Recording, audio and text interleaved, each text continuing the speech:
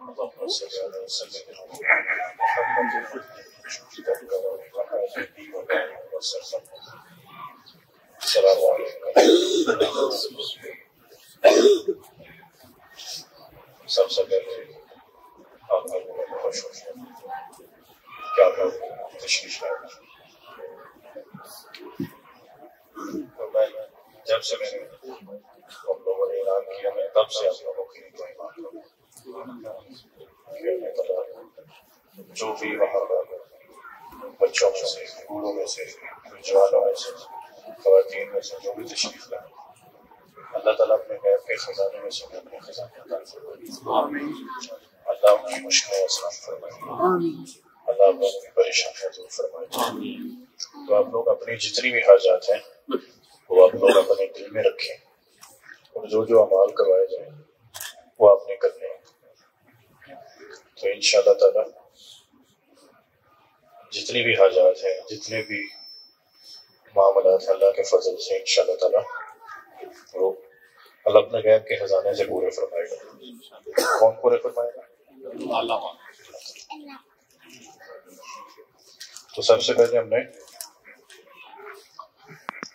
नबी करीम सल्लल्लाहु अलैहि वसल्लम, हज़रत अबू बकर सदीक रज़ी अल्लाह तआला हज़रत उमर फारूक रज़ी अल्लाह अन्हु हज़रत उस्मान गनी रज़ी अल्लाह अन्हु और मौला कायनात हज़रत अली करमुल्लाह वजल करीम इन पाँच हस्तियों को तेरह दफ़ा सूरत अखलास हदिया करनी है अव्वला हर तीन तीन बार के बाकी सब हर दफ़ा बिस्मिल्लाह शरीफ पढ़ी जाएगी तो ये सब बैठ कर इन्हें हदिया करेंगे अपनी जितनी आपकी हाजात हैं आपने अपने दिल में रखी कि अल्लाह ताला वो हाजात आपकी पूरी फरमा रहा है इन हस्तियों की बरकत और वसीले से। हमारे यहाँ यहाँ कोई जोशीले खताब भी नहीं है, यहाँ तो अजुहात है। यहाँ पर फैज है। तो इन अल्लाह अपने फजल से आपकी जोड़ियाँ भरेगा। अल्लाह अपनी रहमत से आपकी जोड़ियाँ भरेगा। और अल्लाह ताला अपने गैब के खजानों में से खजाने अता फरमाएगा। तो सूरत अखलास वाला मन शुरू करें आप लोग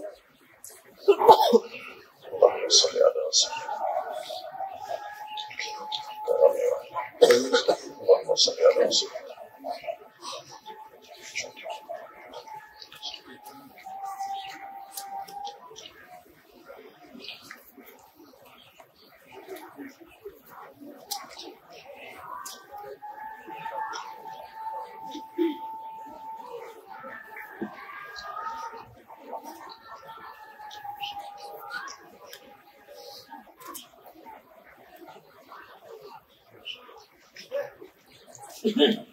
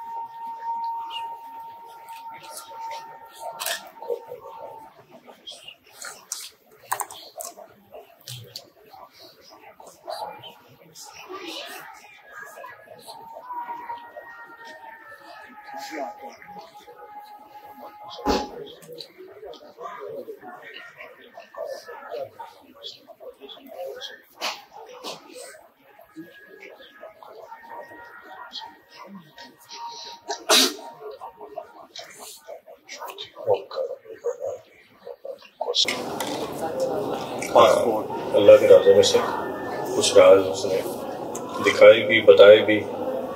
और मदीना क्या करना जाके? वहाँ पे अल्लाह के राज कैसे पाने वो उसने बताए। मुझे कहने लगा कि जब तू मदीना पहुँच जाएगा ना तो अगर तूने कभी मुझसे मिलना हुआ तो मैं जन्नतुल बकी में मिलूँगा। अब वो कहाँ गए पंजाब का। तो जनरल वकील का है, मदीना शरीफ। तो ये जो अल्लाह के बंदे होते हैं ये मकान और जमान से आज़ाद होते हैं। ये टाइम और स्पेस से आउट वक़्त इनके ताबे होता है, ये वक़्त के ताबे नहीं होते।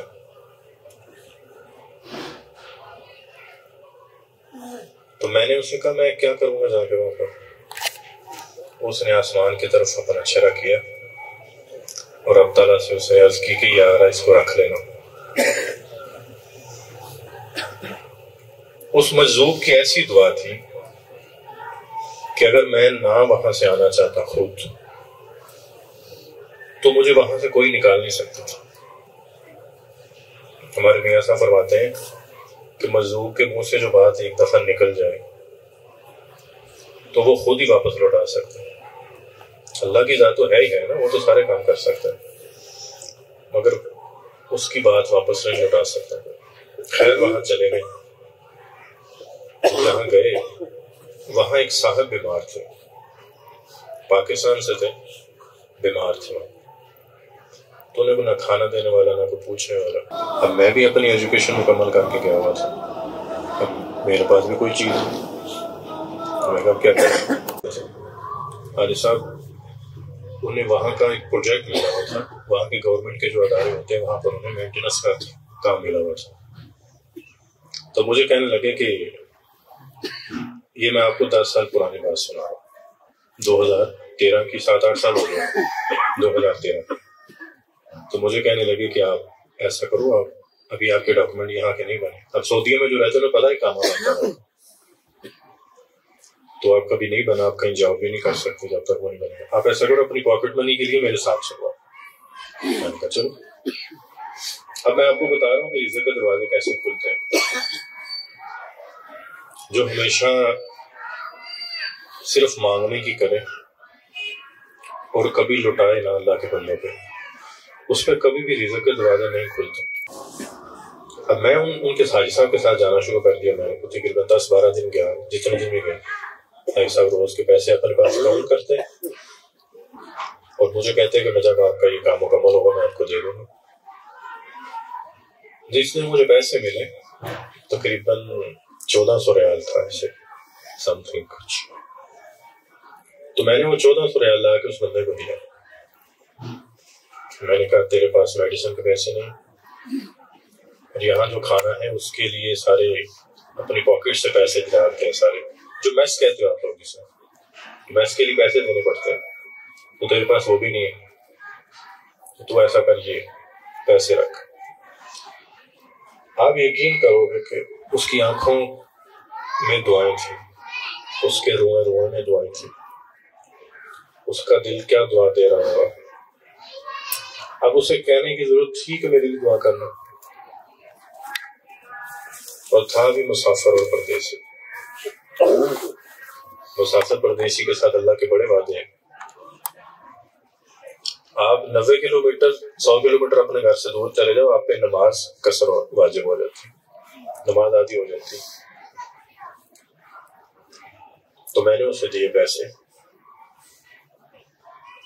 आप यकीन करो, सबसे पहले मेरा जो काम बना, हरम शरीफ का काम था मक्का में, कि वहाँ जॉब करनी। वहाँ मैंने कुछ तीन चार साल वहाँ जॉब की और फिर मैंने अपना वहाँ काम शुरू किया। एक अर्सा मैं शरीफ में जॉब करता हूँ। तो बता इसलिए रहा हूँ कि कभी भी पैसे कमा के जेब में डालने से आपका ना नसीब कभी बनेगा ना कभी को वक्त बनेगा ना आपके मसाइल हल होंगे। जब तक अल्लाह के बंदों को तलाश करके उनकी मदद नहीं करोगे, मगर कोई हो सफ़ेद पोश ये ये जो लगा के बैठ जाते ना, हमें भी दे दो। गागर आ जाते मांगने के लिए, इन्हें नहीं। किन्हें देने सफ़ेद पोश लोगों जो मांगो, जिनकी ज़ुबान बेजुबानों की तरह होती है। अगर आप किसी बिल्ली कुत्ते को पानी पिला दो तो जन्नत वाजिब हो जाए जन्नत मिल जाए और अगर किसी इंसान की ज़रूरत पूरी करो तो उसकी ज़रूरत पूरी करो कि अल्लाह नहीं देगा। देगा। तो कुछ अपनी ज़िंदगी के अंदर इस तरह के अमाल आपने लेके आने इबादत से जो नेमत मिलती है ना, उसमें जवाल का खतरा रहता है। मगर खिदमत से जो आपको नेमत मिलती है ना, उसमें जवाल नहीं होता। इबादत आपकी अपनी की हुई है और खिदमत किसकी करोगे? किसी दूसरे की करोगे डूबते को आपने बचाना है। अब जब तक वो ज़िंदा रहा वो तो दुआएँ करता रहेगा आपके लिए। कहते हैं नबी करीम सल्लल्लाहु अलैहि वसल्लम ने फरमाया कि अगर मफहूम है उस हदीस का कि अगर एक बंदा अपने किसी मुसलमान भाई को, कपड़ा पहना देता तो जब तक कपड़ा उसके बदन पे रहता है और जिसने कपड़ा पहनाया वो आफियत में रहता है। ना उस पर जादू, ना कोड़ा ना कोई रुकावट, ना कोई बंदिश ना कोई हादसा, ना कोई कत्ल।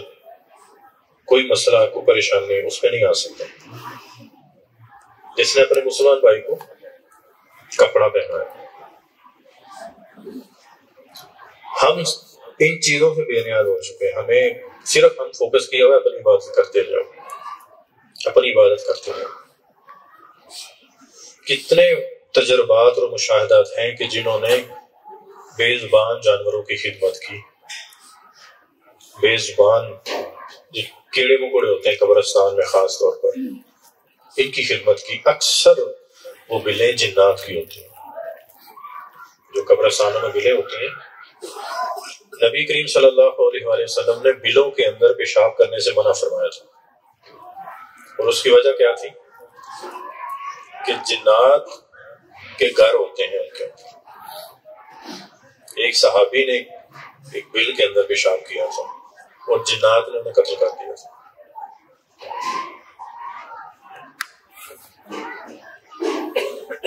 यहाँ मैंने कितने बंदे यहाँ बैठे हुए जिन्हें मैंने एक ड्यूटी लगाई हुई है कि हड्डियाँ डालनी है कब्रिस्तान में या जहाँ बिल्ली कुत्ता हो और कीड़े मकोड़ों को चीनी डालनी है।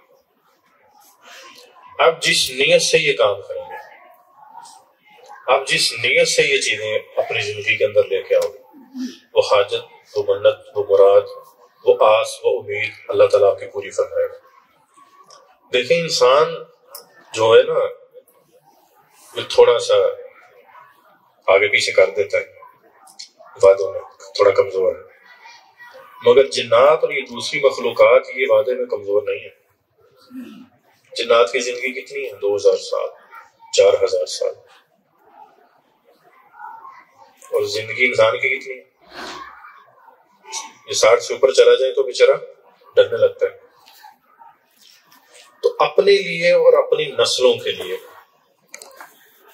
ये काम लाजमी करो आप आपने देखा होगा कि एक नस्ल के बाद दूसरी नस्ल के पास तो तीसरी नस्ल में तो वैसे ही जितनी प्रॉपर्टी होती, खत्म हो जाती है।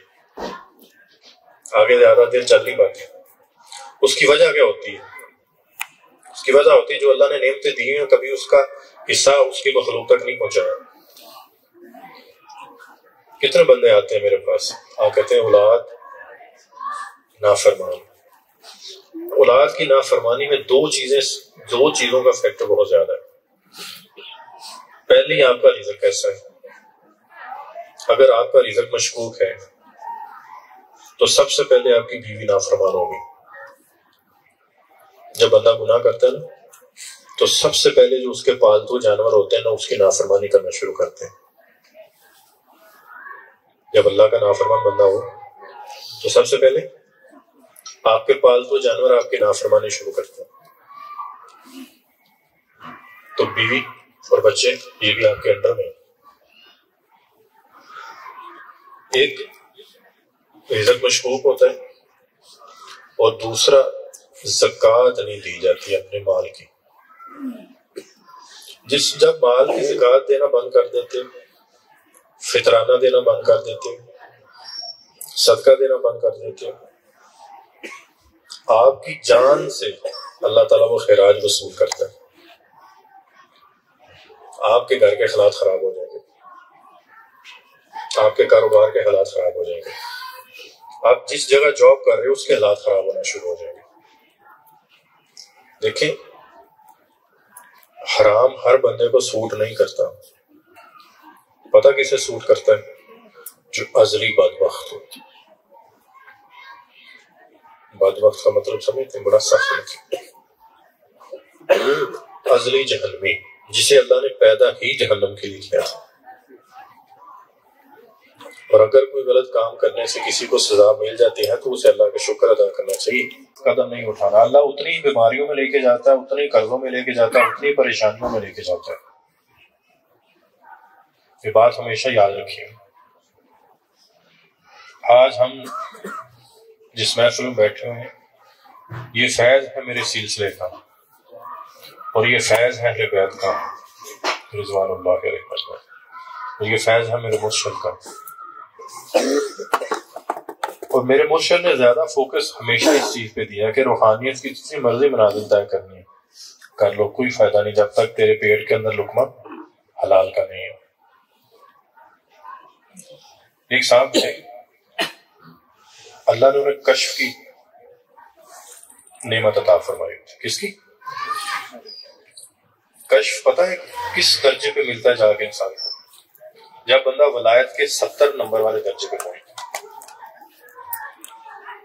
कितने नंबर पर सत्तर वाले नंबर। तो मेरे पास आते हैं, लोग कहते हैं तो कश्फ के लिए जड़ी बूटी है तो दे दो। अच्छा उन्हें दिया तो जाता है, मगर वो कश्फ ऐसा होता है कि उसके लिए वो इख्तियारी कश्फ नहीं होता आपका। गैर इख्तियारी कश्फ होता है। इख्तियारी कश्फ और ऐसा कश्फ जिसमें कम से कम खलल हो, वो आपके तकवे के ऊपर पेश करता है। क्या वो चीज़ें अल्लाह के हुक्म से अल्लाह की अदा से देख रहे होते हो? कि जो ये आँखें, सर की आँखें नहीं देख पाते। तो उन साहब को अल्लाह ताला ने कश्फ की ताकत और कश्फ की सलाहियत दी हुई थी। अब उन्होंने क्या किया? वो खेतों से गुजर रहे थे तो एक किसी का खेत था तो उसमें से एक बाजरे का सिट्टा उतारा उन्होंने। बाजरे का सिट्टा उतारा और उसमें से दो चार दाने मुँह में डाल के खा गए और जो ही वो मुँह के अंदर गया, खलक के नीचे से उतरा, कश खत्म हो गया। अब कितना बड़ा खेत होता है? खेत बड़ा होता है ना? तो सिट्टा और सिट्टे के दो दाने, क्या वैल्यू है? कोई नहीं, अगर वो पूछ भी लेता तो जिसका खेत है वो कहते हैं, साहब, जितने मर्ज़ी ले लो। मगर बात थी वो कि तुझे इतना बड़ा दर्जा मिला, इतना बड़ा दर्जा मिलने के बावजूद तूने अल्लाह की इतनी सी भी नाफरमानी की। क्यों की? रूहानियत का रास्ता मोहब्बत वालों का रास्ता है। ये तो आशकों का रास्ता है। अब मैं आपको बोलूँ कि भाई आपने बाज़ार की चीज़ें नहीं खानी अगर रूहानियत में आना या फलां परहेज आपकी चलेगी आपने प्याज नहीं खाना, आपने मुर्गी नहीं खानी, आपने अंडे नहीं खाना अमलियात के अंदर सबसे पहले यही परहेज होता है। होता है? अब मेरे मुर्शद ने पैंतीस, चालीस साल हो गए मछली नहीं खाई कभी। वो हमेशा परहेज से रहते हैं। तो अगर उसका एक सिट्टा उसके खाने से उसका कश खत्म हो सकता है तो हमारा रिजक कितना मशकूक होगा? कि हमारे अंदर जितनी रूहानियत है, वो उजागर नहीं हो रही। हमारे, आप ये देखा करें कि जो आजमाइश आपके ऊपर है, वो आजमाइश आपसे करवाना क्या चाह रही है? अगर रिजक कम हो गया है तो रिजक कम क्यों है? उसके वजूहत तलाश किया करो। अगर किसी बेटी की, बेटे की शादी नहीं हो रही तो वो शादी क्यों नहीं हो रही? वो वजह तलाश करो। बजाय किसी किसी से कोई तवीज लेने चले जाओ, किसी से कुछ लो तवीज जाएगा मैं तो खुद लेके आया हूँ तवीज और फ्री ऑफ़ कॉस्ट है उसको पैसा पूछा नहीं है और ना यहाँ पर कोई मामला है कि पैसे दे के तवीज लिया जाए कुछ भी नहीं। तो उसकी वजूहत तलाश करो कि अगर ये आजमाइश आई है, वो आजमाइश हमसे चाह क्या रही है? क्योंकि जब तक आप उसकी चाहत को पूरा नहीं करोगे, वो टलने वाली नहीं है। ये अल्लाह के राजों में से राज है, सल्लल्लाहु कि जब आजमाइश आती है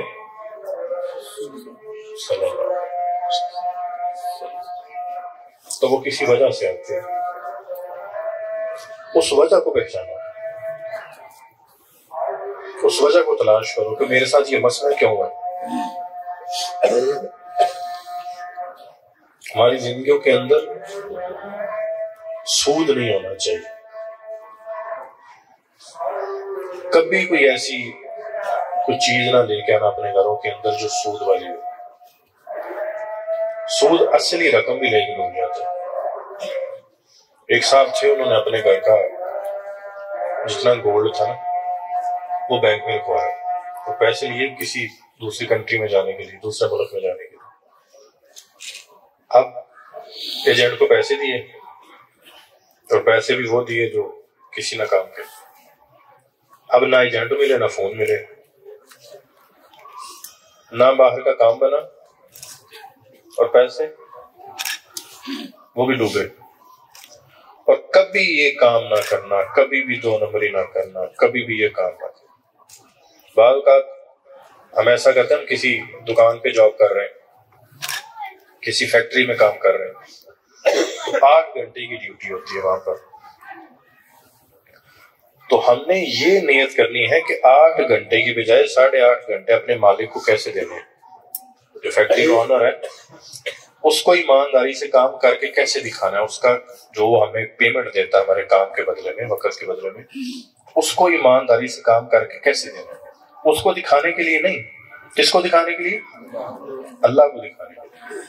फिर खजाना खुलता है गैब का। और फिर अपनी उस मेहनत की कमाई में से कुछ हिस्सा अल्लाह की मखलूक के लिए रखो। उसमें तीन परसेंट ज़रूर निकालो। हर सौ के पीछे तीन रुपए। और फिर किसी हकदार को तलाश करके दो जिसकी ज़ुबान बंद हो वो जरूरतमंद हो। वो रात के अंधेरे में बैठेगा और आपके सामने आपके लिए दुआ करेगा कि हर हर तरफ़ दरवाजे बंद थे। तो वो बेचारे सोच रहे होते हैं कि अल्लाह कहाँ से मदद आएगी? को परेशान होगा। किसी का कोई बिजली का बिल है, कोई खाने पीने के मामला है। और अगर आप वहाँ मदद लेके पहुँचे तो जो उसके दिल से आ निकली, जो दुआ निकली, बस। आप और आपकी कई नस्लें, उनसे अल्लाह मुशक्कत उठा ले। पता जमजम कब निकला था? जब एड़ियाँ रगड़ी थी। वैसे जाते तो नहीं मिला था। एड़ियाँ रगड़नी पड़ती हैं। एड़ियाँ रगड़नी पड़ती हैं। अगर तो वालदेन औलाद के लिए आज एड़ियाँ रगड़ लें तो अगली नस्ल बच जाती है। और एड़ियाँ कैसे रगड़नी है? जय नमाज़ पे बैठ के अपने रब के सामने। अपनी औलाद के लिए बख्त मांगा करो। अपनी औलाद के लिए इज़्ज़त मांगा करो। अपनी औलाद के लिए दीन मांगा करो, दुनिया मांगा करो, रूहानियत मांगा करो, वलायत मांगा करो। और वलायत कैसे मिलेगी? जब माँ बाप नेक होते वली के माँ बाप को स्पेशल बचा के रखा जाता है। उसकी पिछली नस्ल को बचा के रखा जाता है। इसकी नस्ल में से शहबाज पैदा हो रहे आप बताओ तो सही कि जिस माँ का दूध पी के वो शहबाज बना होगा। वो जिस बाप के जिसम का हिस्सा होगा वो। वो माँ बाप कैसे होंगे? वो उसकी नस्ल कैसी होगी पीछे? इसका मतलब है उसकी नस्ल में हराम माल नहीं था। आज अगर आज आपने अपनी नस्लों को बचाना है, अपनी नस्लों के अंदर रिजक लेके आना है, शान शौकत लेके आनी है, फजल और करम चाहते हो तो सबसे पहले अपना रिजक हमेशा पाक रखना है। और कभी भी मशकूक काम ना करना, कभी भी हराम की तरफ़ कदम ना उठाना। ये थोड़ी देर की लजत होती है, ज़िंदगी तबाह करके रख देती है। फिर अपनी नस्लों को फिर जब आप इस दुनिया से चले जाओगे ना तो माँ बाप फिर बरजख से देखते हैं हमारी औलाद के साथ क्या हो रहा है। तो फिर वहाँ जाके बेबस होते हैं। फिर एक आवाज़ आती, काश हम ये काम ना करते। उस काश को आज आप काश कर लो कि शायद मैं कल ये कर लेता, शायद मैं परसों ये कर लेता। कभी ना करना ऐसा। कभी मशकूक की तरफ़ कदम ना उठाना। कभी ऐसा ना करना। अल्लाह इतना गैरत वाला है कि आप उसे एक दो तो वो दस और कभी सत्तर कर देता है और कभी सात सौ तक चला जाता है। और सात सौ तक तब जाता है कि जब खुद भी ज़रूरत हो, अपनी ज़रूरत काट के फिर किसी जरूरतमंद की ज़रूरत पूरी की जाए। कि जब माल कम हो और माल के कम होने का खतरा हो और फिर दो और अगर किसी नबी की, अपने नबी सल्लल्लाहु अलैहि वसल्लम की आल को तलाश किया जाए और उसकी खिदमत की जाए, उसके बारे में क्या ख्याल? इसका मतलब है, नबी करीम सल्लल्लाहु अलैहि वसल्लम उसका हक खुद अदा करेंगे। और करते हैं।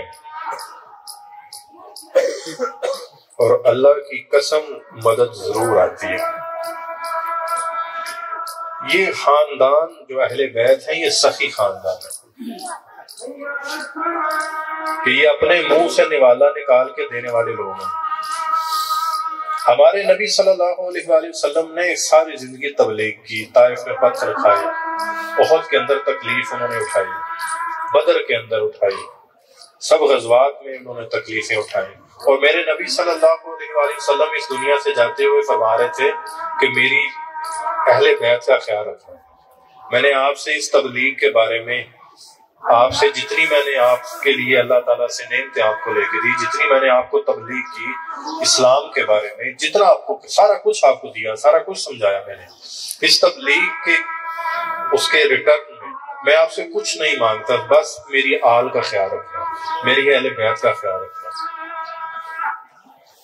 और अहले बैत उस शख्स को कभी नहीं मिलती, उनका फैज उसे नहीं मिलता, जिसका अकीदा हज़रत अबूबकर सदीक रज़ी अल्लाह तु हज़रत उमर फारूक रज़ी अल्लाह तु हज़रत उस्मान गनी रज़ी अल्लाह तु के बारे में गलत होता है। ये बात लिख लें कि जिनके दिल की आँखें रोशन हैं, वो देखते हैं।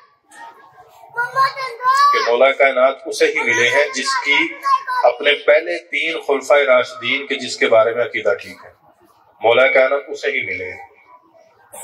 वैसे मौला कायनात का फैज नहीं मिलता। तो ये सखियों का खानदान अहले बैत। है आप कभी इनसे दोस्ती लगा के तो देखो। आप कभी इन्हें इसाले स्वाब करके तो देखो। आप कभी इनके लिए रोजा रखो, रोजा रख के फिर इन हदिया करके तो देखो। सारा दिन भूखे प्यासे के इनके लिए रहना, रात तक कि अल्लाह इन हस्तियों को हदिया करने एक बात याद रखिए, जिस बंदे के अमाल के अंदर नस्ली रोज़े हों, अल्लाह ताला उस शख्स की नस्लों को कभी गरीब नहीं होने देता। उस नस्लों में कभी फकर फाका नहीं आता। कभी गुर्बत तंदुरुस्ती नहीं आती जो अल्लाह के लिए नस्ली रोजा रखता है।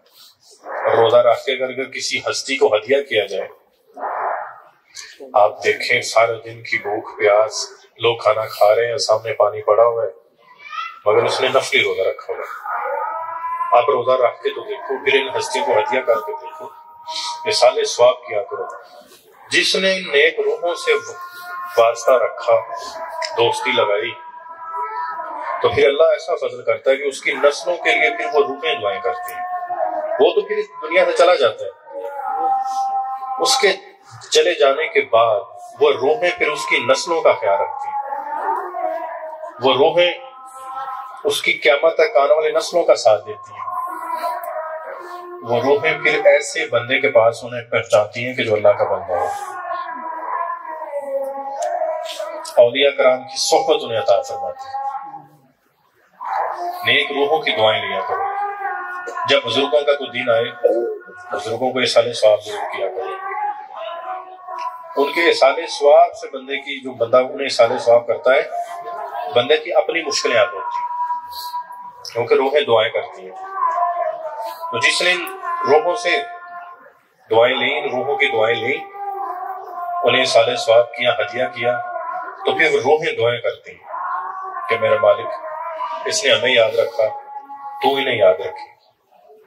तो फिर वो दुआएँ देती हैं, दुआएँ लगती हैं और दुआएँ ऐसी लगती हैं कि बंदे के वक्त जाग उठते हैं, बंदे के कर्म जाग उठते हैं, बंदे पर ऐसा फजल होता है कि फिर वो अपनी आँखों से फजल देखता है।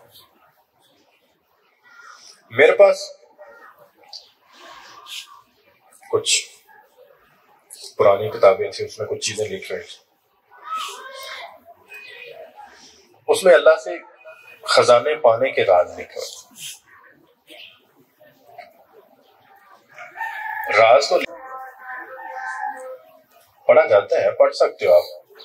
आपके हिस्से का हुआ तो ज़रूर आप तक पहुंचेगा मगर उसमें कुछ चीज़ लिखी हुई थी कि अगर तू हमेशा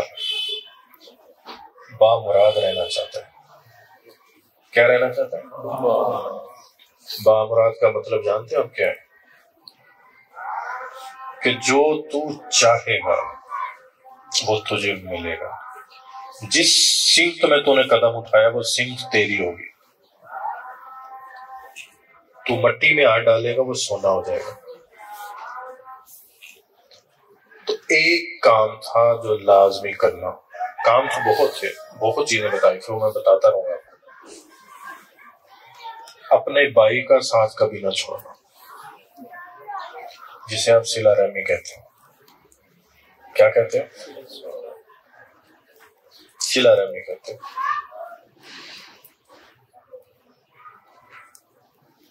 अगर भाई तकलीफ़ भी दे, उसकी तकलीफ़ बर्दाश्त करना। हो इसलिए मैं सिला रहमी कर रहा हूँ, अल्लाह मुझे और मेरी नस्लों को सदा बाबरात रखेगा। ये गोली कड़वी है ना? है ना? कड़वी है। नहीं होता। बर्दाश्त नहीं होता। तो इस बर्दाश्त करने पे अजर मिलना है आपको। देखो, एक बंदे को अपनी नस्ल के लिए कुर्बानियाँ देनी पड़ती। अब जितने भी मिलीनियर देख लो, ट्रिलियन है, जितने पैसे कमाने वाले हैं, आप कभी उनसे पूछो तो से कि ये पैसे इतने कैसे बने। वो आपको एक काम लाजमी कहेंगे, वो कहते हैं, हम डोनेशन देते हैं, कि हम देते हैं, हम देते हैं, हम देते हैं। तो जिसको देना आ गया, हकीकत में उसको लेना आ जाता है। रब की बारगाह में इस तरह करने वाले को नहीं मिलता। रस्सी अपनी तरफ़ खेचने वाले को नहीं मिलता। रस्सी छोड़ने वाले को मिलता है उसकी तरफ़ दे, उस तरफ़ चलाना शुरू कर ये अल्लाह के राजों में से राज है। और जब आप अल्लाह से कोई नेमत मांगो तो फिर ख्याल करना कि उस नेमत जो आप नेमत मांग रहे हो, उसको पहले कोई लेने वाला भी आपसे आएगा। मिसाल के तौर पर आप अल्लाह से कोई रिज़र्व मांग रहे हो, अगर रोटी मांग रहे हो तो अगर आपके पास आधी रोटी है तो उस आधी में से भी कोई आधी मांगने आएगा कि दे दे। अगर तो वो दे दी तो समझ लो कि वो एक ताला था जो खोल दिया भैया, आपके पास तो पहले ही नहीं है तो वो बेचारा अल्लाह आपके पास क्यों भेजेगा किसी को? कि लो इससे आदि भी ले लो जाकर।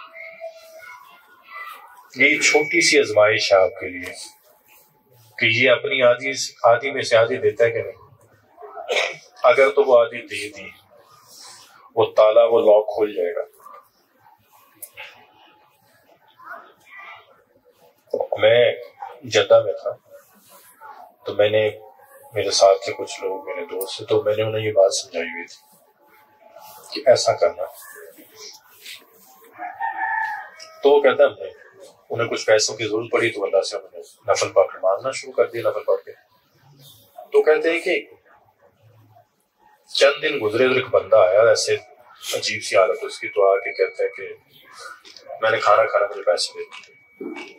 कहता बस एक ही रट लगाई, मुझे खाना खाना, पैसे दे, खाना खाना, पैसे दे।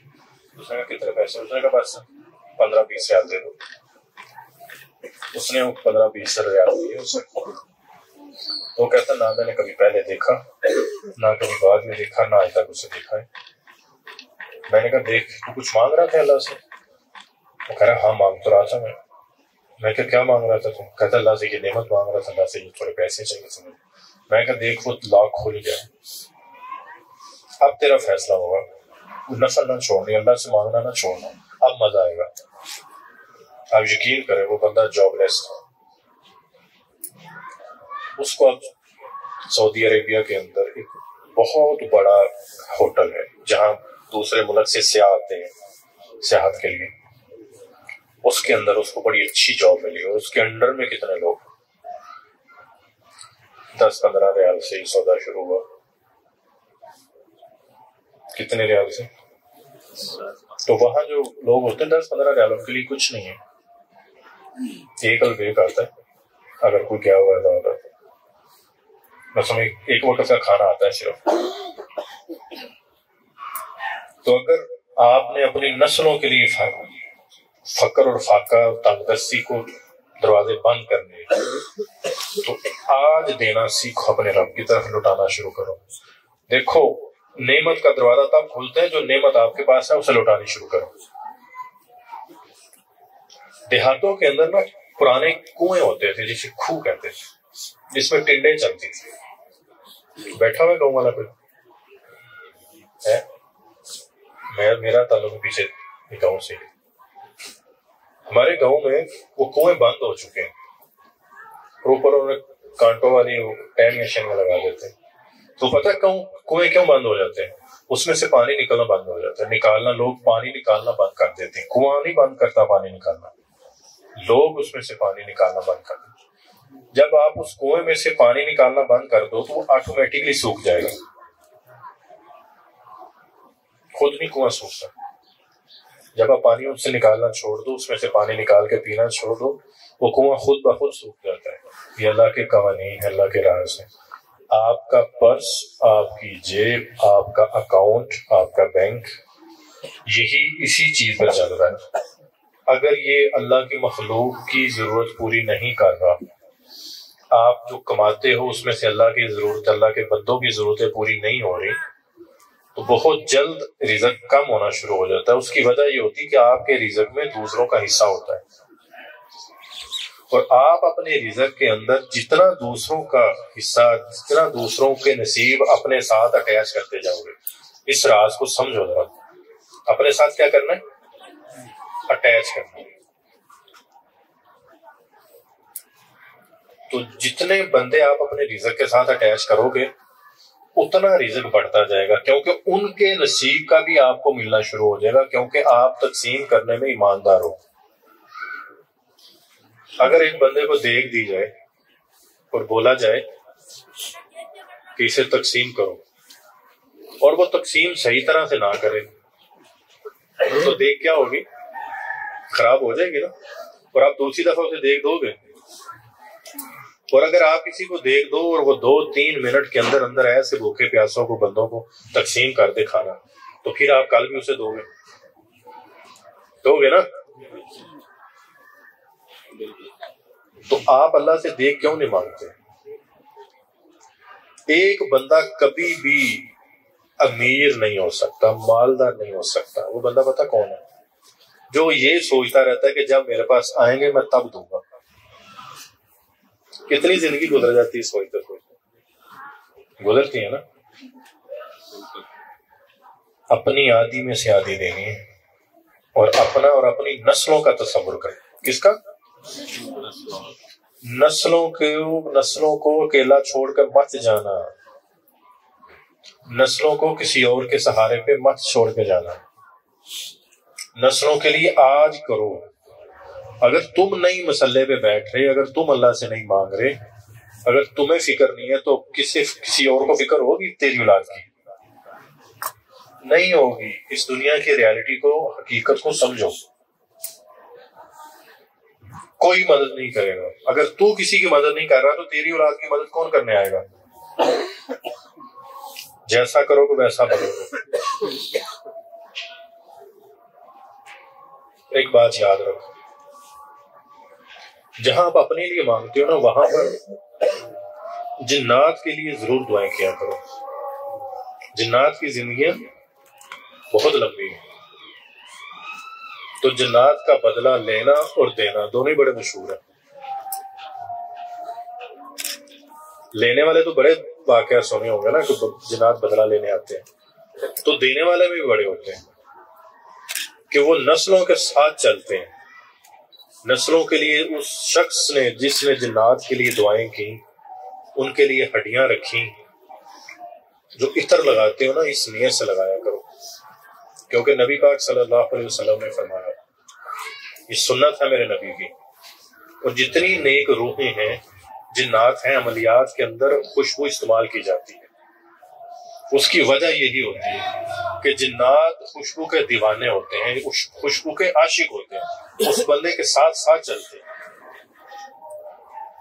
तो खुशबू इन्हें दे के, इन्हें हड्डियाँ, इन्हें दे के अपने लिए और अपनी नस्लों के लिए दुआएँ करवाया करो।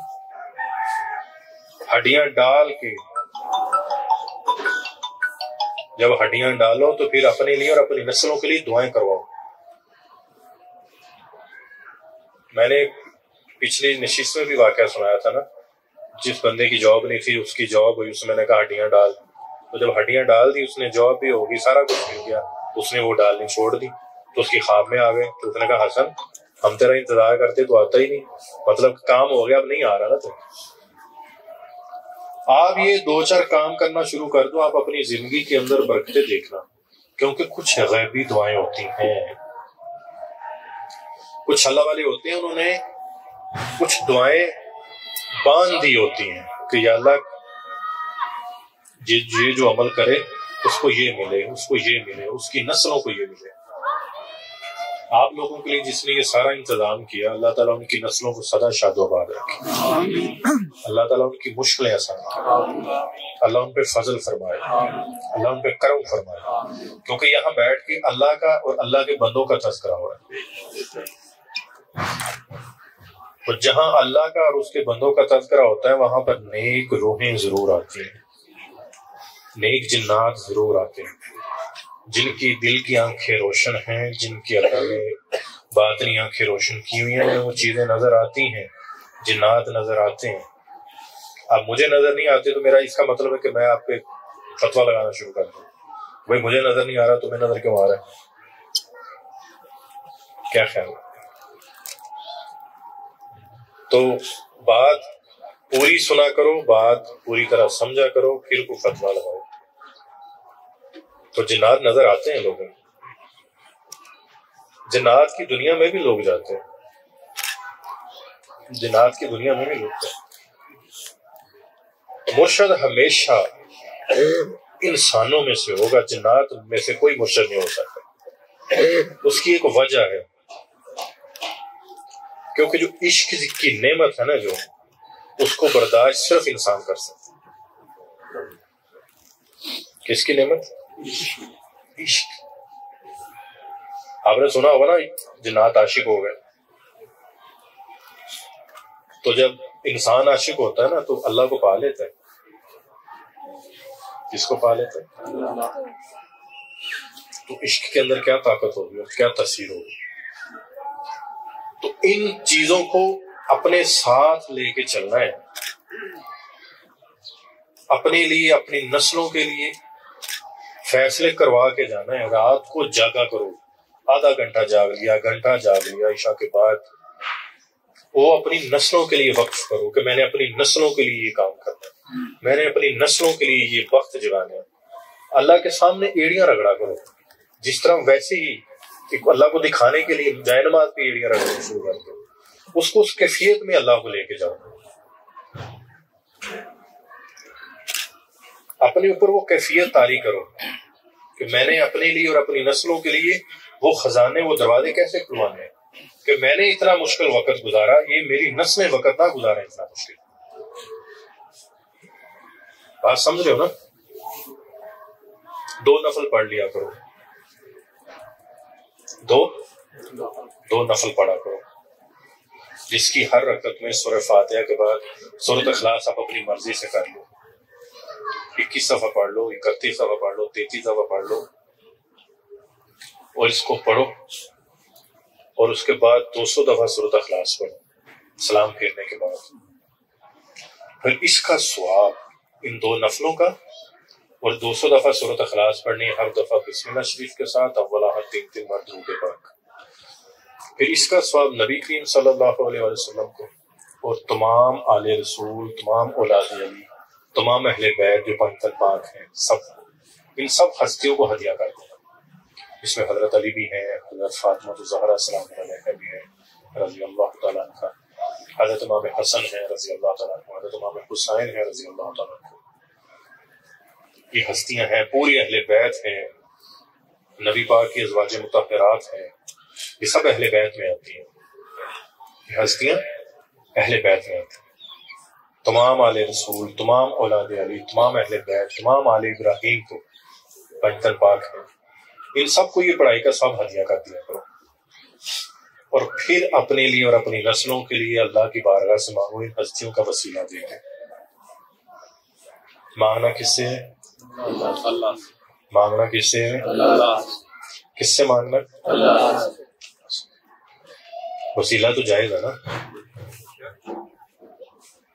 फिर जो वसीला जायज़ नहीं समझता, वो भी अल्लाह से मांग ले। अल्लाह लाज रख लेता मगर होता पता क्या है? मैं लास्ट टाइम एक बात सुना रहा था। मैं ना सऊदी अरब में था तो होटल पे गया मैं, रोटी लेने के लिए। अब लाइन लगी होती तो लाइन में सारे खड़े थे अपनी अपनी बारी का इंतज़ार कर रहे थे अब एक साहब उतरे गाड़ी से, अब खान साहब के अंदर। उन्होंने खान साहब से अपने पश्तों में बात की, खान साहब ने पश्तों में बात की, उन्होंने भी की। उसने पता नहीं क्या कहा, उसने रोटियों का थैला पकड़ा। है? रोटियों का? थैला पकड़ा, उसने पकड़ा। उसने पैसे दिए। अल्लाह की सोच। अब मैं सोच सोच रहा हूँ कि ये क्या चीज़ मतलब हम तो बड़ी देर से लाइन में खड़े पैसे, हमने भी पैसे देने पैसे उसने भी दिए। मगर उसको पहले इतनी जल्दी क्यों मिल गया? वो वसीला था दोस्ती थी। वो ताल्लुक था, वो वास्ता था। इस पे बहस तो बड़ी हो सकती है, मगर जो आशिक हम मानने वाले हैं, वो कर जाते हैं। कोई शिरक नहीं अल्लाह माफ़ करे वसीला जाए तो आप इन हस्तियों के वसीले से अपने रब से मांगो। चंद दिन गुजरेंगे। सबसे पहले आपके, इंशाल्लाह, ख्वाब बदलना शुरू हो जिसके ख्वाब बदलना शुरू हो जाए, ना समझना काम स्टार्ट हो चुका है। वक्त बनने शुरू हो गए हैं। बस मिस्त्री वो इमारत बना रहे हैं। अल्लाह ने जिनकी ड्यूटी लगाई है फरिश्तों की, वो जिन्नात है, वो इंसान है, वो तकवीन के मामले हैं, अहले तकवीन जो होते हैं, वो उनके काम, उनके वो जाने। वक़्त में चार उताद होते हैं, उताद। जिसे हम रोज कुतुब उदाल नहीं कहते। चार उताद होते हैं, उताद। एक मशरक का, एक मगरब का, एक जनूब का। और एक मशरक, मगरब, शुमाल जनूब चार होते हैं। और इनके बाद कुतुबुल अख्ताब और आगे गौस होता है। ये भी एक अमल आपको बता देता हूँ इन चारों का काम, इन चारों सिमतों की हिफाजत करना है। सारे मामला को डील करना होता है। उनमें से एक अब्दुल हई भी है, है? ये चार उताद होते हैं। नाम अल्लाह ने रखे हुए हैं। नाम तो वही रहते हैं हस्तियाँ बदलती रहती हैं। वफात पाने के बाद हस्तियाँ बदल बदलती रहती हैं। नाम वही रहता एक अमल बताता हूँ आपको। सूरत अखलास पढ़ो। वो आपकी मर्ज़ी जितनी दफ़ा मर्ज़ी पढ़नी हो पढ़ लेना। और कुछ मीठी चीज़ सामने रख लो वो टाफियों की शक्ल में हो वो हलवे की शक्ल में वो जिस मर्ज़ी शक्ल में। और इन बोलो कि अला जो वक़्त के चार उताद है ना उनको ये सूरत अखलास हदिया करता हूँ जितना मर्ज़ी पढ़ लो उसका कोई मैं नहीं लगा रहा। कम अज कम तेरह दफ़ा तो ज़रूर पढ़ो। कम अज कम तेरह दफ़ा। और अगर आप सौ सौ दफ़ा पढ़ना चाहो तो चार सौ दफ़ा पढ़ो, कि सौ सौ चारों को आ जाए। और आगे पढ़ना चाहो तो जितना मर्ज़ी पढ़ लो, फिर तकसीम मतलब कि चारों को हदिया करना। चार उताद हैं जिनके हाथ में अल्लाह ने निज़ाम दिया होता है। बात को समझो। अहादीस में और बाकी जगहों पे अल्लाह ताला ने, नबी बाक ने इनके बारे में ज़िक्र, इशारों से और नाम लेके, अब्दालों का तो ज़िक्र मिलता है हमें, कि शाम में इतने अब्दाल होंगे। मस्जिद नबी में तो हर वक्त अब्दाल रहते हैं। और जितने भी अहले तकवीन हैं मामला उनमें से उनके सरदार हैं हज़रत ख्वाजा फिजल और जितने तकवीनी मामला होते हैं, उन्हें हैंडल हज़रत अली रज़ी अल्लाह तला हज़रत उमर हज़रत उस्मान और हज़रत अब बकर ये हस्तियाँ जो सी हैं, ये कर रही होती हैं। तरतीब कौन सी है हमारी अहल सुन्नत की? पहले हज़रत अबू बकर सदीक है, फिर हज़रत उमर है, फिर हज़रत उस्मान है, फिर मौला का इस तरतीब से हमने चलना हमने अपनी तरतीबें नहीं लगानी शुरू कर दी। हम अपने बड़ों से ज़्यादा अकलमंद नहीं है। ठीक है? हमारा जो कीदा है, हमने उसी के मुताबिक चलना तो ये हस्तियाँ हैं जो अहले तकवीन के मामला को संभाल रही होती हैं। तो इन्हीं बड़ी हस्तियों की नस्लों में से ये अहले तकवीन हजरात ओलिया कराम चुना जाते हैं। अब हमें तो नहीं पता ना, हमारा शजरा कित, कहाँ तक का होगा। बाकी भूल जाते हैं। परदादा या परदादे के वालद का नाम का पता किसी को? नहीं पता होता। तो मैं एक अमल बता रहा था उताद का कि चार हस्तियों को सूरत अखलास का दिया करना। अगर दो नफल पढ़ लो, उसमें भी सूरत अखलास पढ़ लो तो मीठी चीज़, उसमें बेशक टाफियाँ क्यों ना हो? जो भी आपकी जेब इजाज़त देती है।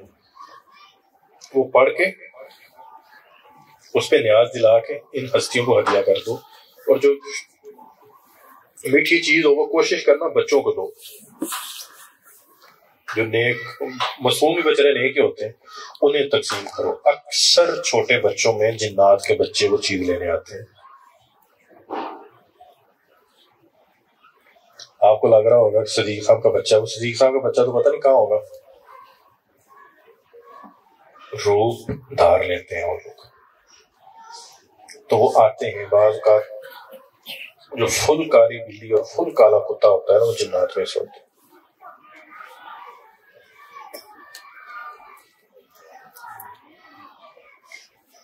इन चीज़ों को आप ये हदिया ने इन उताद को हदिया कर देना और फिर रोज़ाना करना।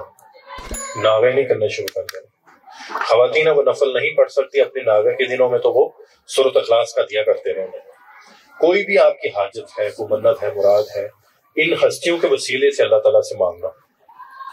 कि अल्लाह, ये वक़्त के चार उताद होते हैं। अलिफ वाओ ते अलिफ, ता और दाल क्या बना? औताद चार होते हैं। इन्हीं के कंट्रोल में कायनात का निज़ाम अल्लाह ताला ने दिया हुआ है। करने वाला तो अल्लाह की जात है ना, फरिश्ते भी तो ड्यूटियों पे है ना। तो इंसान फरिश्तों से अफजल नहीं है, अफजल है।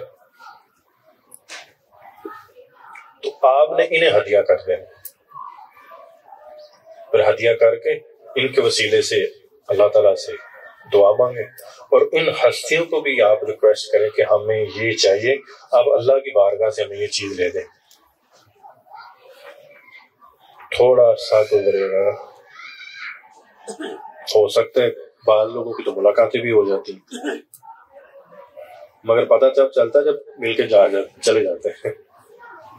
तब पता चलता अगर बता देंगे फिर तो आपका वो प्रोटोकॉल देने का अलग हो जाएगा ना अंदाज।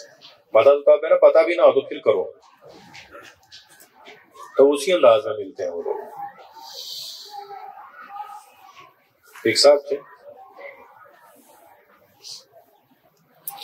उन्होंने खिदमत की किसी अहले बैत में से आले रसूल में से किसी की खिदमत की। तो वो कहते हैं कि मैं रूहानियत के रास्ते में चल रहा था।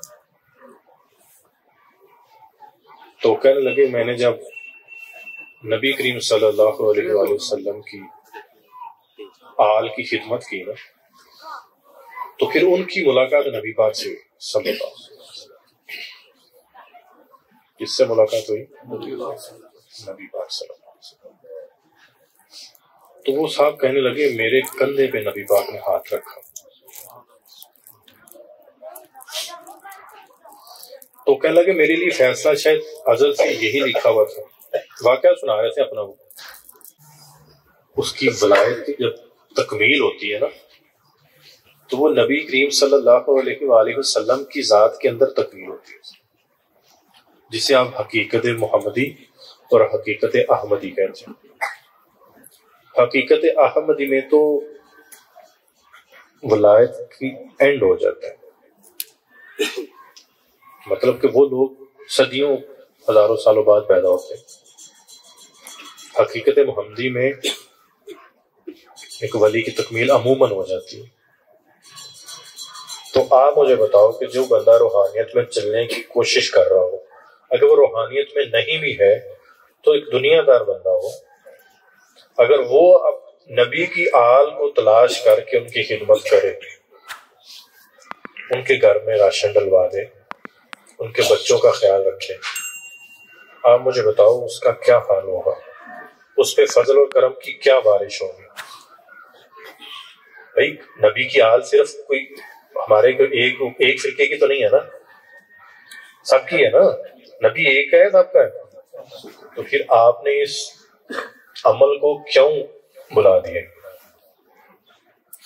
भाई, मैं भी ज़रूरत पूरी कर लेता हूँ मांग के। आप भी किसी ज़रूरत पूरी कर लेते हो मांग के। चलो, हम जो लोग हैं तो मांग के किसी से ज़रूरत पूरी कर लेते हैं। वो एक खानदान ऐसा है, जिसको सदका और खराब जक़ात भी नहीं लगती। है?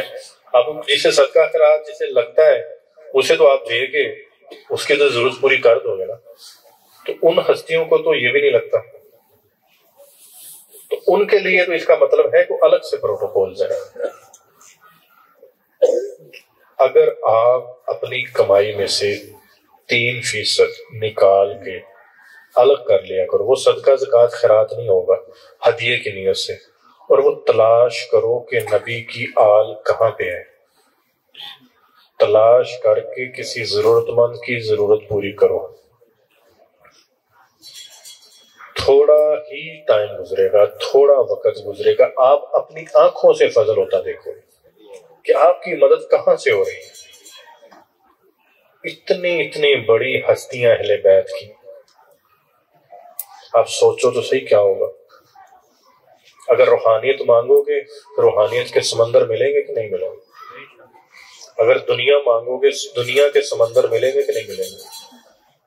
अगर बख्शिश हो सकती है, अगर आखरत संवर सकती है अगर जन्नत मिल सकती है, अगर मरते हुए ज़ुबान पे कलमा नसीब हो सकता है तो क्या दुनिया का छोटा सा मसला हल नहीं हो सकता इनकी खिदमत करने से? नहीं हो सकता? करोगे ना खिदमत इस खानदान की? देखो, हज़ारों में अगर पैसे नहीं भी है ना तो कोई मसला नहीं है। किसी की कोई ज़रूरत तो पूरी कर सकते हो ना आप? नहीं कर सकते? मैंने एक घराने को ये अमल बताया, मैंने कहा पैसे करें। तो वो कहते हैं, हमारे पास पैसे तो इतने नहीं होते तो हम, हमने क्या किया? हमने क्या भाई, हमारे हर माह इतने पैसे आते हैं हमें। ऐसा करते हैं, साल के या छह माह के एक दफे इकट्ठे करके दे देते हैं। तो फिर हम बाद में एडजस्ट करते रहेंगे। मैंने कहा, बड़ी अच्छी बात है। बड़ा दिमाग लड़ाया। तो वो पैसे हम पूरे कर लेंगे, अभी हम निकाल देते हैं। तो उन्होंने क्या किया? उन्होंने वो अमल किया। तो कहने लगे जो ही वो अमल किया चंद दिनों बाद ही हमारा किसी जगह से कुछ ऐसे मामला तय पाए। वो जो दिए थे, वो तो आटे में नमक के बराबर भी नहीं थे। तो जो मिला था, वो पहाड़ मिला था। ये खानदान नकद देता है। अल्लाह से लेके नकद देता है। तो क्या ख्याल है अगर नबी की आल के बारे में ऐसा बंदा सोचना ही शुरू कर आप यकीन करो, आप ये करके देखो। आप मेरे नबी की आल का ख्याल रख के देखो। आप नबी करीम सल्लल्लाहु अलैहि वसल्लम की अहले बैत का ख्याल रख के देखो। इन्हें इसाले स्वाब करके देखो। इनका कोई नज़र न्याज इनको दे के देखो। इनकी नस्लों का ख्याल रख के देखो। बिन मांगे रब देता है, बिन मांगे रब देता है और नस्लों में देता है और इतना देता है कि आप अर्श नशीन बंदों में अल्लाह ताला आपको शामिल करेगा। कि अल्लाह ताला की हाँ जो उसके मुकर्रब बंदे हैं, अल्लाह आपको और आपकी नस्लों में से ऐसे बंदा पैदा करेगा। ऐसे में उठा के ना दे देना, तहकीक करना पूरी, ये कौन है? फिर जाके देना। और फिर रात को जाए नमाज़ बिछाना। और एक तस्वीर द्रोदे पाक की पढ़ना। क्या पढ़ना? जो द्रोदे पाक आता है वो पढ़ लेना। वो पढ़ के फिर नबी पाक सल्लल्लाहु अलैहि वसल्लम की रूह को हदिया करना और फिर नब, अपने नबी से बातें करना। क्या करना? और अल्लाह से कहना मौला ये मैं टूटी फूटी बातें कर लू ये मेरे नबी तक पहुँचा। चंद दिन करो के देखो। देखो जवाब आता है कि नहीं आता। इंशाल्लाह। औलिया कराम है ना? जब ये नमाज़ पढ़ते हैं ना जब तो पढ़ते हैं सुबह हमदे का पढ़ते हैं जब तक जवाब वसूल ना हो अगली चीज़ अगली दुआ नहीं पढ़ते। तो जब तक आपको भी जवाब ना आए आप भी ना उठना चाहे नमाज़ से एक दिन करो दो दिन करो तीन दिन करो थोड़े दिन तो देखते हैं कि माल कच्चा के पक्का है। ठीक है। करोगे ना? इंशाल्लाह। अपने लिए और? अपनी? नस्लों के मैं एक दफ़ा अरब में ना फंस गया। एक जगह पे फंस गया। तरबियत के मामला थे। उन्होंने रोटी भी ले ली कपड़े भी उतरवा लिए जूता भी ले लिया छत भी ले लिया। अब मैंने कहा तुम्हारे में? अब क्या करें? मैं क्या करता, मैं दो नफल पढ़ता और हज़रत अली रज़ी अल्लाह को और हज़रत खतून जन्नत हज़रत फातिमा जहरा इन दो हस्तियों को हदिया कर देता और इनकी बारगाह में अर्ज़ करता कि ए मुतखर मनवर हस्तियों, आप ये दुआ करते मेरे लिए कि मैं इस जगह में फंस चुका हूँ। सारे रास्ते बंद हो चुके हैं। कुछ नहीं है। अब यकीन करें अभी थोड़ा अर्सा किया मैंने। एक साहब मदीना शरीफ गए। तो अल्लाह ने उनके दिल की आँखें रोशन की हुई थी। अल्लाह ताला ने उनकी दिल की आँखें रोशन की थी। वो रूहानी सामी रूहानियत थी। रूहानियत में उनका अमल दखल था। वो जब रोजा रसूल के सामने गए ना तो वो कुछ पढ़ के हदिया कर रहे थे, अपनी दुआओं में लगे हुए थे तो उनको वहाँ पर इशारा हुआ कि उसके पास जाना है उसकी ये ज़रूरत पूरी करनी। वो साहब, अब मुझे ढूंढते फिर कि यार ये बंदा कौन है? मुझे इसका ये ये बताया गया सारा तो वो ढूंढते ढूंढाते ना, वो पहुँच गए। मेरे पास पहुँचे हो तो मुझे कहते हैं कि, पहले तो वो देखते रहे कि बाकी यही है ना। तो मुझे कहने लगे कि ऐसा ऐसा है। तू कुछ कर रहे है ऐसा? मैंने कहा हाँ मैं कर रहा हूँ। तो कहता, तू क्या करता है? मैंने कहा, ये दो नफल पढ़ता हूँ। दो नफल पढ़ के इनकी हस्तियों की हतिया का, हतिया कर देता हूँ इन्हें। और फिर अल्लाह को इनका वास्ता देता हूँ, वसीला देता हूँ, फिर उनके वसीले से माँगता हूँ। उसने कहा, ये लगी दस हज़ार मैंने कहा बड़ी देर हो गई रगड़ते। उसने कहा, ले भैया जो तुझे चाहिए बता मुझे मैंने कहा, मेरी बंदा, अब चढ़ गया। मैंने कहा, भाई, ये मसले है। उसने कहा तेरे बारे में मुझे बताया गया था कि सारे मसले इसके हल करने किसने बताया, क्या बताया, फिर छोड़ते हैं। फिर के लिए इंशाल्लाह। तो क्या मैं कहने लगा कि बड़ी अजीब बात हुई, वहाँ मैं ना बस दुआ अल्लाह से मांग रहा हूँ तो मेरे कान में आवाज़ आई कि जो तू मांग रहा है ना अगर तू वहाँ जाके उसकी ज़रूरत पूरी कर दे, अल्लाह तेरी पूरी कर दे। असबाब इसी दुनिया से बनते हैं। असबाब इसी दुनिया से बनते सिर्फ़ मुझे और आपको अल्लाह से लेना नहीं आता। हमने इन हस्तियों से दोस्ती नहीं लगाई। हम कहते हैं, सिर्फ़ मुहर्रम में याद कर लिया, रजब में याद कर लिया। ठीक है, शहादत आ गई, किसी की, किसी के पैदाइश आ गई। उस पर बस हमने कर दिया तो बस अल्लाह खैर सला तो पूरा साल बाकी कहाँ गए? हमने तो इन हस्तियों से सीखना है ना, कि इन हस्तियों ने अल्लाह से कैसे पाया? इन हस्तियों ने अल्लाह से कैसे लिया? उन साहब ने, वो मुझे पकड़ाए पैसे तो कहने लगे, ये पैसे आपके, और अगर फिर भी कुछ ज़रूरत पड़े तो आप मुझे बता देना। मैं क्या नहीं अपनी पड़ती। पहले उन्हें बताने से तो आप तुझे क्यों बताऊँ? मैं अभी नहीं बताऊँगा। तो मुझे जब भी किसी चीज़ की ज़रूरत हो, मैं दो नफल पढ़ता हूँ, सूरत अखलास पढ़ता हूँ, इन हस्तियों को हदिया करता हूँ, फिर इनके वसीले से अपने रब से सवाल करता हूँ कि मेरे मालिक इन हस्तियों का वसीला लेके आया कि जिसको मेरे नबी ने फरमाया कि अली, जिसका मैं मौला उसका अली मौला और फातिमा मेरे जिगर का टुकड़ा एक तो जिगर का टुकड़ा हो, और दूसरे दूसरे को बोल रहे हो कि जिसका मैं मोला उसका भी मोला तो क्या ख्याल है? उनका वसीला को रद्द करेगा? मेरे मुर्शद मियाँ हजूर दामत बरकत फरमाते हैं कि तोबा एक ऐसा वसीला है जिसे अल्लाह कभी रद्द नहीं करता। ऐसा? मसला आपने तोबा की इस्तगफार की अल्लाह से इस्तगफार पढ़ा, उससे माफ़ी मांगी। कभी रद्द नहीं होता। क्योंकि तोबा हमेशा वो बंदा करता है जो अजली खुशबख्त हो। इस्तगफार किसकी ज़ुबान पे आता है? जो अजली खुशबख्त हो, जिसको अल्लाह ने अजल से लिखा था, जा तुझे माफ़ किया तू जो मर्ज़ी कर ले, मगर आएगा तो जन्नत में। तो थोड़ी सजा भुगत ले, यहाँ, वहाँ, कभी इनके दर, कभी उनके दर। गमयाश की तरह शुक्रिया। हम कहाँ कहाँ से गुजर गए? तो बंदा गुजरता है बड़ी टकरे का तो मैं पार्कों में सोया हूँ। इस रूहानियत के रस्ते में आने के लिए, इसको पाने के लिए पार्कों में सोया मैंने कूड़ेदान से उठा के खाना खाया है, मगर मांगा नहीं था किसी से। एक दिन मैं कूड़ेदान से खाना पड़ा हुआ, मैंने खाया तो मैंने आसमान की तरफ़ मुँह किया। मैंने कहा, ये मेरे मालिक हमेशा ऐसी ज़िंदगी नहीं गुजारने। हमेशा ऐसी ज़िंदगी। तो मैंने कहा हो सकता है कल परसों तक मैं मर जाऊँ। अल्लाह से बातें कर रहा हूँ। मगर ऐसी ज़िंदगी नहीं गुजारनी। मैंने मांगना नहीं है किसी से कि अपने किसी यार दोस्त के पास जाऊँगा, जाके बोलूँगा कि दे दे ज़रूरत पूरी कर। मैं कह, नहीं। अगर करनी है तो तू करेगा। जब पाना तुझे है तो फिर नज़र उसकी तरफ़ क्यों करूँ?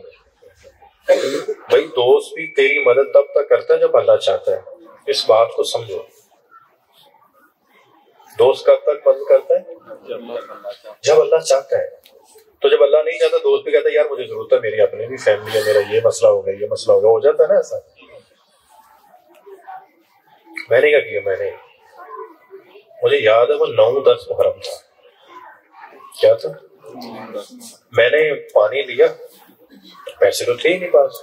खुद तो खाना डस्टबिन से उठा के खा रहा हूँ। वहाँ पर एक है ना, लोग जितना खाना बचता है बाहर एक जगह रख देते बिजली खा रहे कुत्ते तो होते नहीं वहाँ पर, बड़े कम होते हैं।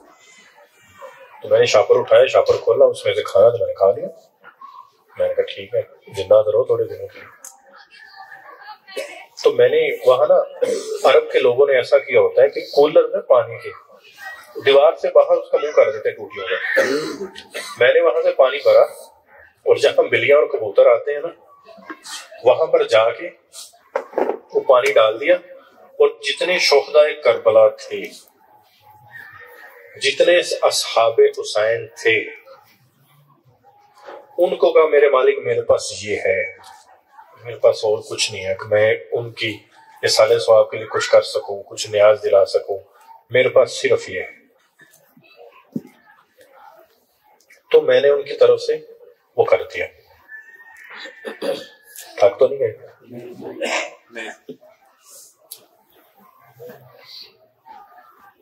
एक मैंने इन हस्तियों के लिए रखा और एक मैंने अपने डब्बा रखा अपने मुर्शिद के लिए, जिसने मुझे जीना मरना सिखाया, जिसके नाम का ताज मेरे सर पे ये ताज नहीं है, ये इज़्ज़त है। ये ताज नहीं है, ये बुज़ुर्गों की तवज्जुहात है। ये ताज नहीं, ये अल्लाह का राज है। गाँव के अंदर ना, अगर किसी से कोई गलती हो जाए और पंचायत बैठ जाए, अगर अपने सर का कुछ टोपी को साफा को पगड़ी उठा के, उतार के किसी के कदमों में रख दी जाए तो वो बंदा बात मानता है कि नहीं मानता उसे? मान जाता है रात को ना जाए नमाज़ पे बैठ के अपने सर की जो टोपी है, जो पगड़ी है, जो दस्तार है, उतार के ना, बस तस्वर ही तस्वर में अपने रब के कदमों में रख दिया कि जैसे आप अल्लाह की बारगाह में हो, बस कभी अल्लाह मेरा ये तेरे सामने उतरा हुआ है, मेरा ताज, ये मेरी टोपी, रब के सामने, क्योंकि अल्लाह पैरों से पाक है, हाथों से पाक है। बस तस्वुर ही करना कि बस मैं अल्लाह के सामने हाजिर हूँ और अल्लाह के ये ज़मीन पे मैंने रख दिया फिर अपने रब से मांगो। अगर रोना नहीं आता तो रोने जैसा मुँह बना दो। मगर कैफियत तारी हो जाती है। कैफियत आती है। और इन ताला जब ये अमल करोगे ना, दो चार जो बताए हैं तो अल्लाह के फजल से देखो फिर अल्लाह ताला आपकी मुश्किलें कैसे हल करता है। देखो, दुनिया में जिस पे भरोसा किया जाए ना, अगर वो गैरत वाला बंदा हो तो आपका भरोसा कभी टूटने नहीं देता। टूटने देता है? कभी भी टूटने नहीं देता। और अगर अल्लाह पे भरोसा किया जाए, देखो, जब अल्लाह पे भरोसा किया जाए तो अल्लाह थोड़ा सा नॉक करके बजा के, ठोक के देखता ज़रूर है। अगर तो साबित कदम रहे तो। और यकीन करो, कामयाबी का पूरा दरवाज़ा सामने खुला हुआ पड़ा होता है। और एक बात है कि जो कामयाबी पाने के लिए रात का दरवाज़ा नौ करता है ना तो थोड़ी सी दर्ज खुलती है दरवाजे की, खुशबू आनी शुरू हो जाती। है उसको अपनी कामयाबी की खुशबू आनी शुरू हो जाती। है वो और तेज़ी से अपने रात की तरफ़ दौड़ता है। और तेज़ी से इन नेक, मुअत्तर और मुतखर हस्तियों का वसीला लेके वहाँ जाता है। तो अगर वसीला भी पास हो और बंदा जुनूनी भी हो, बंदा पाना भी चाहता हो, दरवाज़ा खोलेगा, नहीं खोलेगा? असल में दरवाज़ा खुला होता है, हम दरवाजे के पास पहुँचते हैं बस। उसके दरवाजे बंद नहीं होते। उसके दरवाजे बंद नहीं होते। हमेशा खुले रहते हैं उसके दरवाजे। तो जिसने ये दो चार अमल कर लिए, एक तो उताद वाला अमल बताया और एक अहले बैत, हस्तियों को नफल करने वाला अमल बताया। और याद है, हड्डियों वाला बताया, खुशबू लगानी है। चीनी वाला भी आपको अमल बताया मैंने कितने कब्रस्तानों के अंदर ड्यूटियाँ लगाई हैं। कि कब्रस्तानों में जाओ और कीड़ों, मकोड़ों को मतलब एक एक पाव का पैकेट बनवा लो चीनी का। ठीक है? कितना? एक एक पाव। का पैकेट चीनी का बनवा लो। और कितनी? चालीस दिनों की कितनी हो जाएगी? दस किलो हो जाएगी। कितनी हो जाएगी? हाँ? दस किलो चीनी ले लो। उसके एक एक पाव के पैकेट बनवा लो। और ऐसा कुछ दरख्त तलाश करो ऐसा कुछ जगह तलाश करो जहाँ बिल होगी कीड़े मकोड़ों की। बिल हो। और वहाँ जाके ये डालो। वो बिल बजाहर कीड़ों मकोड़ों की होती है। मगर वो होती नहीं कीड़ों मकोड़ों की वो जिन्नात की बिलें होती। हैं मेरा एक दफ़ा मुझे एक, मैं काम लेना अड़ गया। काम हो नहीं रहा था।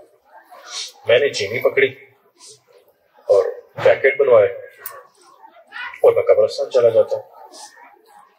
अब कब्रस्तान जाता तो चीनी डालता और उन्हें मैं कहता, देखो, मैं हदिया लेके आया और मैं हूँ आपका मेहमान। अगर आप किसी के घर चले जाओ तो मेहमान बन गए ना, मैं हूँ आपका मेहमान और मेरा ये है काम। मैं आपको हदिया दिया, आप अल्लाह से दुआ कर दो मेरा ये काम हो जाए। और फिर जो कब्रस्तान वाले थे उन्हें मैं पढ़ के दिया करता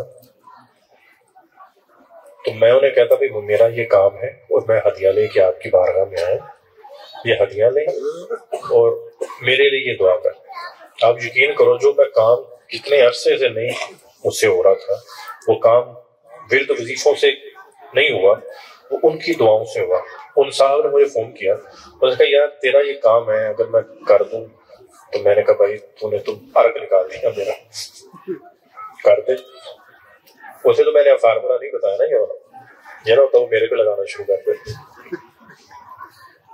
तो मैंने ये अमल करना शुरू किया। और मैंने जिस, जिसको ये अमल दिया उसके अंदर सबसे पहले एक खूबी मैंने देखी और मैंने उसको वॉच करना शुरू कर दिया जिसकी ड्यूटी लगाता मैं। उसे नहीं बताता मैं। उसके अंदर असार अल्लाह की दोस्ती के आते थे। अल्लाह उसकी आँखों में आँसू देता था कि मुझे याद कर। अल्लाह को मुझे याद कर, अल्लाह कहता है, और आँसू ले क्या आँसू खलूस की आखिरी निशानी। आँसू? खलूस की आखिरी निशानी। है आँसू गुफ्तगु करते हैं। आँसू गुफ्तगु करते हैं। और जिसके लिए निकलते हैं ना, वो बखबर होता है। उसने तुझे याद रखा है तो तू उसे याद रख रहा ना। उसके याद किए बगैर तू उसे याद नहीं रख सकता। वो पता नहीं कहाँ कहाँ बैठ के तेरे लिए रहा होता है। किस वक्त वो किस हालत में बैठा हुआ हो, उसको तू याद आ जाए। वो अपने रब की बारगाह में हाथ उठा दे कि मेरे मालिक, इसने मेरे साथ ये भला किया। इसने मेरे साथ ये भला किया। इसने ये भला किया। तू तो पहले ही, वो तो पहले ही मकबूल था। और मकबूल बंदे के मकबूल ज़ुबान से जब मकबूल अल्फाज निकलते हैं तो क्या होता है? कुन फाया कौन के बोला और हो जा, और हो जाता है। ये सैफुल ज़ुबान लोग होते हैं, इनकी ज़ुबान तलवार जैसा काम कर रही होती है। आप सबके लिए मैं दुआएँ मांग रहा होता हूँ। आप लोग इतनी दूर से आते हो। मेरे सिर्फ़ एक मैसेज से आप आए हो। सिर्फ़? मेरे मुर्शद ने मुझे एक बात समझाई थी कि बेटा इन नेक हस्तियों को तुम याद रखना ये तुझे याद रखेंगे। क्या करना? मैंने अपनी इस दामन से अपने मुर्शद की बात को बाँध लिया मेरे मुर्शद ने मेरी आँखों में आँखें डाल के कहा था मेरे मुर्शद की एक एक बात मैंने अपने दिल पे तहरीर की होती। अगर मुझे किसी बात की समझ नहीं भी ना आ रही तो मैं कहता हूँ, अगर मेरे मुर्शद ने वो बात समझा दी तो यही होगी। और अगर मुझे किसी बात की समझ आ भी रही है, और मुझे पता भी है, और मेरे मुर्शद ने फिर भी मना कर दिया तो मैं उस चीज़ से इनकार कर देता हूँ जो मैं जानता हूँ। जब मैंने ये किया ना जब मैंने अपने मुर्शद पे भरोसा किया। जब मैंने कहा कि अगर मुझे पता भी है तो मेरा मुर्शद किसी चीज़ से मना कर रहा है। क्योंकि हमने तो किसके मुताबिक चलना अपने बुज़ुर्गों के मुताबिक हमारे जो सिलसिले के बुज़ुर्ग हैं, वो ज़ाहिर है, वो भी अल्लाह उसके रसूल के मुताबिक ही चल रहे हैं ना। इसलिए तो अल्लाह के मुकर्र बंदे हैं वो। हमारा कोई अलग फिरका भी नहीं है, अलग कोई सिलसिला भी नहीं है। हमने जिसके नाम का ताज अपने सर पे रखा है, यही सिलसिला हमारा। और ना अपने सिलसिले से हम लोग अलग हुए। हम तो अपने सिलसिले का काम कर रहे हैं।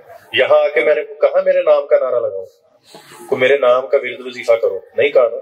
किसका करना? उस रब का नाम लो हमारे बुज़ुर्गों ने भी वही नाम लिया और जो हमारे अकीदे के मुताबिक जो अकायद है, वो भी वही है। तो मैंने अपने मुर्शद की बात मानी। तो जब मान ली ना तो फिर मेरे मुर्शद ने हाथ उठाए। तो देखो जब बंदा अपने मुर्शद की बात मानता है ना तो मुर्शद क्या होता है? बड़ी बड़ी बारगाहों में मकबूल होता है। तो जब बंदा अल्लाह का मकबूल हो तो इसका मतलब है सारी बारगाहों का मकबूल हुआ तो वहाँ तक पहुँचा ना। तो फिर उस बुज़ुर्ग से जो, अपने मुर्शद से जो प्यार करने वाली हस्तियाँ होती हैं ना, वो भी उस मरीज़ को देख रही होती हैं। वो भी उस मजलिस में बैठे हुए शख्स को देख रही होती हैं, जो उस पर एतबार करता है। जो उससे प्यार करते हैं, जो उससे इश्क करते हैं, फिर वो हस्तियाँ उस पर तवज्जो फरमाती है। और जब तवज्जो फरमाती हैं, जब राज़ी खुश हो जाती हैं, फिर मिलती भी हैं। ख्वाब के ज़रिए मिल जाए, किसी भी तरीके से, अल्लाह ताला मिलवा दे। फिर वहाँ अपने सीने से सीना लगा के कहती हैं, हम तेरे से खुश हैं, क्योंकि तेरा मुर्शद तुझसे खुश है। तू जो मुँह से निकालेगा उस पर हम आमीन कहेंगे। अगर कोई नुरानी और रूहानी और मुअत्तर और मुतखर हस्ती आपकी दुआओं पे आमीन कहना शुरू कर दे। तो इसका मतलब है जो ज़ुबान से निकला अल्लाह अपने फजल से पूरा कर देता। है कौन पूरा करता है? अल्लाह। अल्लाह पूरा करता है। मगर जिसके पास वसीला उसे रोटी जल्दी मिल जाती है। उसको नेमतें जल्दी मिलती हैं। तो जो चीज़ें बताई वो करोगे ना अच्छा मैं आजकल पता है कुछ अफात और मामला चल रहे हैं जलजलों के। ठीक है? तो मैं कुछ एक नक्श लेके आया हूँ साबिर कहाफ के। मुझे मेरे मुर्शा ने चिल्ला करवाया था इसका। तो बड़ा सख्त था। ये फोर्टी नाइन डेज़ का चिल्ला था उनचास दिन का चिल्ला। और उसमें खाना पीना कुछ नहीं। बिल्कुल महदूद सा था। इतना था कि मैं बेहोश ना बस हूँ ना मैं मरूं, और बंद हो गए था। उसके मुशाहदात वो तो हैं बयान करने वाली नहीं है, मगर वो उस ज़िले की साहब कहफ के नामों की तस्हीर बड़ी अल्लाह ने रखी हुई। ये नक्श असहाब कहफ के नामों का जो नक्श है कि जिसके घर में हो, उसका घर कभी तबाह नहीं होता। उसके घर में कभी आग नहीं लगती। उस घर में वो जब जल्जले से नुकसान नहीं अल्लाह पहुंचाता। उस घर के अंदर अल्लाह जादू जन्नात के हमले बंद करवा देता है। अगर आप अपनी ये किसी पैसों में रख दो तो कभी इंशाल्लाह ताला चोरी नहीं होगी। अगर आप अपने किसी अनाज में रख दो तो वो अनाज कभी खराब नहीं होगा। अगर बाद कहते ऐसे होता है किसी की फैक्ट्री होती है वहाँ आग लग जाती है अपने आप दुकानों में आग लगती है कितने शॉपिंग मॉल जल जाते हैं वो शैतान की सारी शरारत होती है। मशीनें टूट जाती हैं। क्यों सब टूटती है ना? और लाखों करोड़ों का नुकसान होता है। तो ये नक्श उन मशीन पे लगा दो। और सबक कहफ को हदिया करना शुरू कर दो।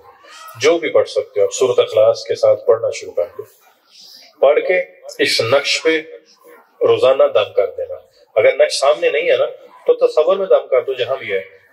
और ये, इसका साले स्वाब तमाम सबक कहफ और उनके कुत्ते के तवील को दिया कर देना। ठीक है? अगर किसी के घर में लगा इन ताला जल्दे से कभी नुकसान नहीं होगा। अल्लाह के फजल से इंशाल्लाह तो कितना तुर्की में देखा मैंने, कितना नुकसान होगा बहुत ज़्यादा नुकसान हुआ। तो ये तकवीनी मामला थे इस पर तो हम खैर गुफ्तु नहीं कर सकते कि ज़रूर कैसे आया, कब आया, कौन ज़मीन की गिरारियाँ हला रहे हैं। तो इससे तो कोई नहीं, जिनका काम है वो कर रहे हैं। तो ये नक्श इंशाल्लाह ताला दिया जाएगा। और अभी इंशाल्लाह ताला फर्दर फर्दर मुलाकात भी होगी। आप अपना जितना भी आपके मामला आप डिस्कस कर सकते हो, कोई अमल आपने लेना है, कोई पढ़ाई लेनी है को वजीफा आप लोगों ने कुछ चाहिए और सारे मामला आप डिस्कस कर सकते हो। मगर जो चीज़ें मैंने आप लोगों को बताई हैं वर्द वजीफा आप जितने मर्ज़ी कर लो, जो मर्ज़ी कर लो, जब तक आपके रिज़र्व के अंदर पाकिजगी नहीं है, नफासत नहीं है तो वो काम नहीं होगा जो आप चाहते हो।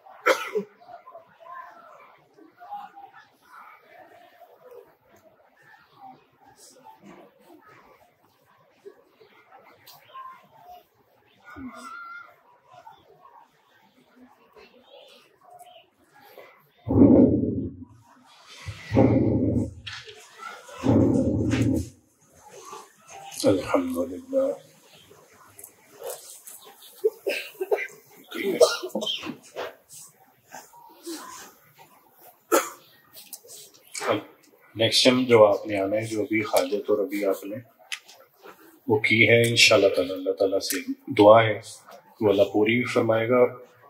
खुदा ना आस्था जिसकी नहीं भी हो रही तो अगले दाम पे इंशाल्लाह ज़रूर वही हाजत, वही रखनी है अपने दिल के अंदर।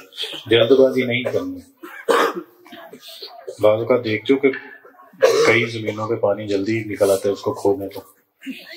बाज अवकात मसाइल नस्ल दर नस्ल पुराने होते हैं। उनको थोड़ा वक़्त लगता है। उन्हें मसला हल होने में थोड़ा वक़्त लगता है। जल्दबाजी नहीं करनी। और मायूस भी नहीं होना। आपके लिए बड़ी दुआएँ हैं। आपके लिए बड़ी दुआएँ होती हैं।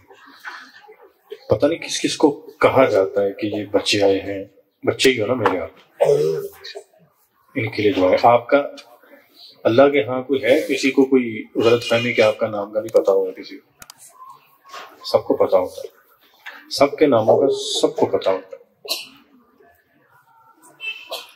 तो आपके लिए बड़ी दुआएँ होती हैं। आपके लिए बड़ा फजल है, आपके लिए बड़ा करम है। आपके लिए आपकी क्यामत आने वाली नस्लों के लिए मांगा जाता है। इतने लोग ऐसे तो नहीं आ जाते ना। आपको अल्लाह ताला आपकी और आपकी नस्लों में फैज चलाएगा और ये कादरी सोहरवर्दी फैज है। और ये अहलुल बैत का फैज है। ये अबू अल्लाह जहांगीरी फैज है। ये तारकी फैज है, जो आपके और आपकी नस्लों में चलेगा इन ताला। ठीक है? आप दुआ करते हैं इन ताला।